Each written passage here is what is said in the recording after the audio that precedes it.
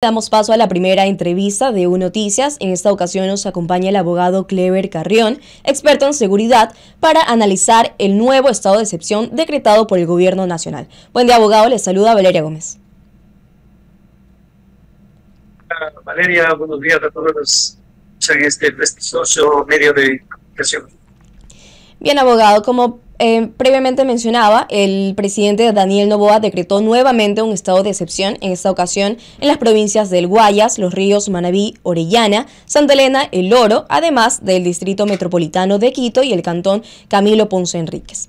Si bien el ecuatoriano, por decirlo así, ya está un poco acostumbrado a los estados de excepción, en esta ocasión se puede eh, tal vez evidenciar que hay un hincapié respecto a los derechos que se suspenden en este estado de excepción, específicamente del derecho a la inviolabilidad de domicilio, el derecho de, a la libertad de reunión y el derecho a la inviolabilidad de correspondencia.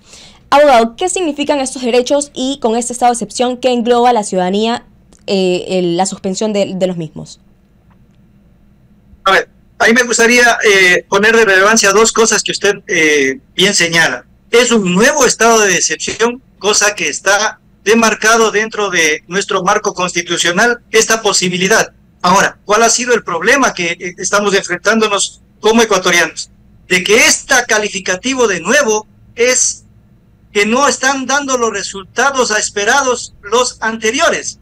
Porque si usted se pone a analizar, bueno, hay un nuevo estado de excepción, y en vez de amenorar los lugares donde se implantan los estados de excepción, por el contrario, estamos ampliando el estado de excepción. Y eso sí es preocupante, porque lo único que podríamos dilucidar nosotros o llegar a una conclusión es de que esta guerra o este conflicto armado interno lo estamos perdiendo. Y eso es gravísimo, porque la estrategia que se está realizando no es adecuada. Entonces, alguien decía alguna vez en un concepto de locura y que es tan trillado, quieres tener resultados distintos, haz cosas distintas. Y si la directriz nos está indicando de que los grupos delictivos organizados nos están ganando, al parecer deberíamos reajustar las estrategias con las que se está combatiendo el crimen organizado. Esa es la primera situación. Lo, lo, segundo y preocupante es lo que usted señala. Este, esta naturalización, este acostumbrado, sí, el ciudadano se está acostumbrando y estas estrategias, el delincuente no únicamente se acostumbró, sino que también las supo dar una lectura adecuada y por eso es lo que la eficacia de los operativos cada vez es menor. Es decir, esta previsibilidad que se ve en los operativos cuando usted circula y ve un grupo de, uniformados realizando los controles, los delincuentes supieron sintonizar estas estrategias y fácilmente le evaden. Entonces, en el contexto de todo esto está el ciudadano de pie que pasa dos, dos o tres circunstancias. Una, no pierde el miedo para salir adelante las restricciones sí son viables, son legítimas. Eh, habría que esperar qué dice la Corte Constitucional en el contexto de que la Corte Constitucional ya le ha llamado la atención varias ocasiones al presidente. Uno de ellas inclusive no permitió que se ponga en vigencia el estado de excepción, la levantó. Entonces vamos a ver qué es lo que espera, cómo se está justificando en esta ocasión este estado de excepción. Ahora, abogado, eh, en el gobierno de Guillermo Lazo, el expresidente último, se le criticaba e-, esto mismo, ¿no? La cantidad de estado de excepción que decretó. Y actualmente el presidente Daniel Novoa usa la misma fórmula se les, y por supuesto se le critica, sobre todo por lo que usted menciona, porque no se logra observar un resultado, no, no se logra realmente em, eh, evidenciar una tranquilidad ahora por parte de los, ecuatorianos al salir a la calle. Em, entonces esto no se ve, sin embargo, la fórmula es la misma, seguir decretando estados de excepción. Entonces, eh, eh, la pregunta es ¿por qué? ¿No hay otras medidas que el gobierno podría tomar además de decretar estado de excepción? A ver, hay otras medidas. Lamentablemente, la normativa actual con la que nos se rigen todos los estamentos de seguridad no es la más adecuada. Y ahí viene ciertas circunstancias de que desde la ciudadanía deberíamos estar presionando para que se eleve el nivel de debate. Por decirle, mire, sencillo, eh, justamente por la efectividad y por el tema de las estrategias. Y por lo que usted determinaba, bueno, ¿hasta dónde es bueno restringir, restringir estos derechos que se están señalando en, la actualidad en este estado de excepción? Pero si la normativa no cambia y el trabajo policial y militar es eh, muchas veces venido a menos por las autoridades de justicia, ese es un tema muy trillado. Pero la estructura de fondo es lo que no se, nadie habla ni nadie eleva en el nivel de debate. Es cómo le estamos viendo a la seguridad en nuestro país. Y tenemos, seguimos teniendo una seguridad dividida, una seguridad politizada. Y esa ahí está el verdadero problema. O sea, ¿cómo hemos logrado dividir la seguridad? Ahora usted ve un agente uniformado en donde este agente uniformado debería irradiar seguridad. Sucede que es un agente de tránsito. ¿Le da seguridad? No, no le da seguridad. Más bien le da pena, porque no está armado ni siquiera de un, de un matamoscas para poder repeler el delito. Y frente a esto, nuestras calles y a nivel de la República están atiborradas por carros con vidrios polarizados, sin placas. Y usted dice, ¿y dónde está el control? Y sucede que detrás de esta situación hay tres circunstancias. O es delincuente, o es uniformado, o es político. Entonces, ese tipo de circunstancias es las que hay que cambiar. ¿Qué estoy tratando de decir? Hay que tener un enfoque de unificar a la seguridad, al tránsito, que es parte neurálgico de la seguridad, hay, hay que incorporarlo a la seguridad. O hacemos definitivamente una fusión de estos estamentos municipales que sean absorbidos por parte del Ejecutivo, que si se cree que él es el que tiene la hegemonía del control de la seguridad y el monopolio de la fuerza, hay que traerlos a que trabajen conjuntamente con el Ejecutivo, porque caso contrario se politiza. Y cuando yo digo se politiza es un alcalde de un cantón que no se sintonice con el Ejecutivo, no quiere trabajar y hace su estrategia individual. Frente a todo esto, es lo que los grupos de delincuencia organizada han sacado provecho. Y déjeme decirle, con esto termino, que esta circunstancia es una fotocopia de lo que pasa en el sistema de rehabilitación. Tenemos taras que no se logran entender. ¿Cómo no puede usted en un lugar geográfico que es y debe ser totalmente eh, controlado por parte del Estado el Estado no lleva el control. ¿Sabe por qué? Porque tenemos principios de rehabilitación como la voluntariedad, que le dejamos al privado la libertad que haga lo que le dé la gana, porque es voluntario el sistema de rehabilitación. ¿Tiene sentido eso? Posiblemente en otros países, con otra estructura mental, con otra estructura delictiva, sin que haya habido este avance de la delincuencia, pueda funcionar. Pero en este país creo que deberíamos reestructurar la visión de seguridad que le hemos dado a nuestro país, en nuestro país. Abogado, y usted mencionaba el unificar eh, todas las fuerzas para eh, combatir realmente este crimen organizado, la delincuencia, el narcotráfico. Eh, y usted menciona específicamente a la, a la, ATM, a los agentes de tránsito. y sin embargo, yo también quisiera agregar tal vez la función judicial, ¿no? Porque en varias ocasiones hemos visto que la policía, las Fuerzas Armadas, cualquier miembro de agentes del orden, capturan a un delincuente, desarticulan una red de corrupción. Sin embargo, vemos que semanas después un juez libera a estos mismos delincuentes. Entonces también sería un poco de la mano el depurar la función judicial. Depurar la función judicial, pero con un cambio estructural de la ley. Lamentablemente nosotros los ecuatorianos parece que nos gustan los paños de agua tibia y nadie quiere elevar el nivel de debate o visionar definitivamente dónde está el problema. El problema no está, bueno, que también está ahí en esos malos integrantes de la función judicial, esta corrupción que está enquistada. Y déjeme decirle, en el ecuatoriano, lamentablemente es porque esta visión que hemos tenido de seguridad, pero a lo que usted plantea, sí, hay que cambiar eh, a estos malos miembros de la función judicial, hay que cambiar también el esquema de la, de la ley, porque imagínese, aritmético, usted vea, y les invito a quienes nos escuchan, que se fijen en el artículo 11 y 12 de nuestro Código Orgánico Integral Penal. En el primero están los derechos de las víctimas y luego están los, los derechos de los victimarios. Aritméticamente, sin hacer un análisis profundo, solo desde la aritmética, el primero 12, en el segundo 16.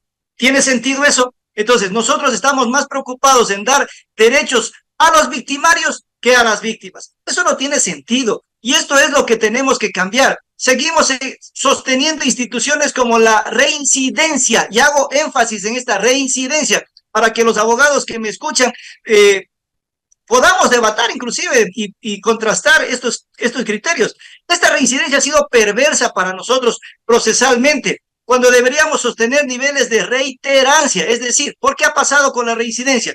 Una persona el primer día cae por eh, robo, el segundo por hurto, el otro por robo de vehículos. Al final dice, no, no, es que no ha reincidido porque no ha cometido el mismo delito. ¿Tiene sentido eso? Deberíamos estar viendo cuántas personas o los delincuentes cómo van reiteradamente al sistema de rehabilitación y no logran rehabilitarse. Y mientras caen y vuelven a caer, deberíamos restringirle derechos. Eso es lo que deberíamos estar pensando. Lamentablemente, eh, no, no, no, no se piensa en esto y eso es el grave problema que tenemos. Eh. Bien, abogado. Abogado, y ahora eh, también quisiera mencionar las, incautaciones que ha realizado la policía y las Fuerzas Armadas dentro de las cárceles, eh, porque si bien en redes sociales eh, nuestras autoridades mencionan el control de armas y municiones que se realizan dentro de los centros penitenciarios, sin embargo, eh, seguimos viendo que ocurren incidentes dentro del mismo. El último ocurrió en la cárcel de Turi, en Cuenca, en donde falleció un reo y dos resultaron heridos. Entonces, eh, ¿qué está ocurriendo? No? Eh, por un lado mencionan que sí realizan las, el control de armas, pero dentro continúan amotinamientos, continúa este enfrentamiento. Entonces, o los agentes del orden realmente no realizan las requisas de forma correcta, o eh, eso están relacionados con las bandas y de tal forma están vinculados. Es que ahí volvemos a lo que hace un momento habíamos hablado. El sistema de rehabilitación, que es capítulo aparte de lo que hemos logrado hacer, sucede que aquí en el Ecuador se maneja por el principio de voluntariedad. ¿Qué trata, ¿Cómo se traduce esta voluntariedad en el, en el PPL, en la persona privada de libertad? Que un privado de la libertad se levanta y no le da la gana de rehabilitarse, pasa durmiendo y comiendo todo el día en la celda. Entonces, como el Estado no tiene el control de esta actividad que hace el privado de libertad al interior de los centros de rehabilitación, el que sí tiene el control es el líder del grupo delictivo. Pero frente a esto, hay grupos de derechos humanos que dicen, no, es que tenemos que respetar al ser humano.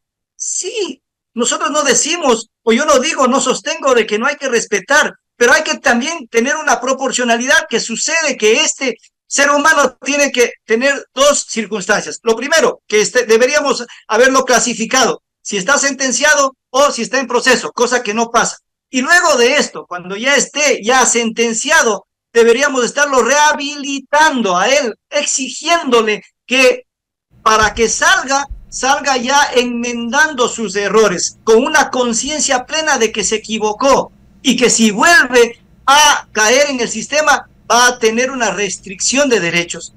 Eso es lo que no, no, no hacemos y no elevamos el debate porque a nuestros asambleístas les interesa más hacer mofa de lo que nos está sucediendo que matar las neuronas para que hagan las funciones que deben hacer. Legislar, legislar, y hago énfasis, legislar, legislar es estar estudiando leyes y ver cómo transformamos para que estas leyes aterricen para darnos bienestar, porque caso contrario, seguimos teniendo leyes que en el papel se ven increíblemente bonitas y cuando se van a llevar a la práctica no sirven para nada. Ahí está el problema. Y mire, con esto termino. Ley de uso legítimo de la fuerza. Esta ley abarca o ampara a tres instituciones. Fuerzas Armadas, Policía y agentes de seguridad penitenciaria. Sucede que en esta ley se, se dice que los agentes de seguridad penitenciaria deben tener un grupo para que active o se active cuando haya amotinamientos. Deberíamos preguntarnos, ¿hay ya la materialización de esta ley? Nada, no se les ha provisto ni siquiera ridiculizando un matamoscas para que puedan repeler un amotinamiento. Y tenemos que seguir infringiendo la norma, porque el tenerlos a los uniformados militares en los exteriores, porque no es que están al interior y llevando ellos el sistema de rehabilitación, porque para hacer eso deberíamos cambiar la norma. Para hacer eso deberíamos tener un enfoque distinto y decirles a los organismos de derechos humanos que se dejen de situaciones medias que uno no se logra entender. ¿A quién quieren favorecer? ¿Únicamente al infractor o se quieren definitivamente ya conmover de las víctimas, porque aquí no son únicamente las víctimas que están dejando su vida en las calles o las víctimas colaterales que pierden a sus miembros de la familia. Las víctimas somos todo un país que no logra reactivarse económicamente porque ahí está el problema. Los secuestros, las extorsiones, no es que han bajado, los indicadores de cifras negras han elevado. Y ahí, con esto termino. Ahora sí, discúlpeme que me, haya explayado tanto. Sucede que cuando usted va a poner una denuncia por una extorsión, no le permiten poner la, una renuncia reservada.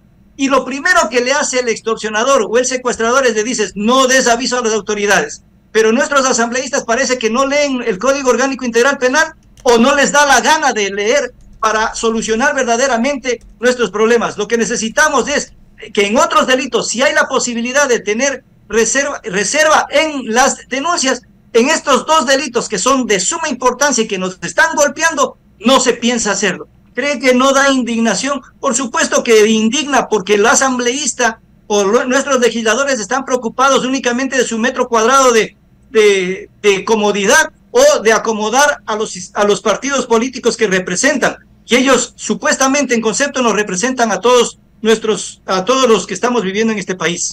Y sobre todo ahora que vienen las elecciones generales, realmente el, eh, la ocupación o lo que realmente les va a importar ahorita a los, a los legisladores será regresar nuevamente al curul. Pero bueno, abogado, muchísimas gracias por la entrevista y por supuesto invitado a una próxima ocasión para seguir dialogando de este tema. Un gusto siempre, muchísimas gracias por la invitación. Bien, estuvimos con el abogado Clever Carrión, experto en seguridad, para analizar este nuevo decreto de estado de excepción eh, firmado por el presidente Daniel Novoa hace unos días.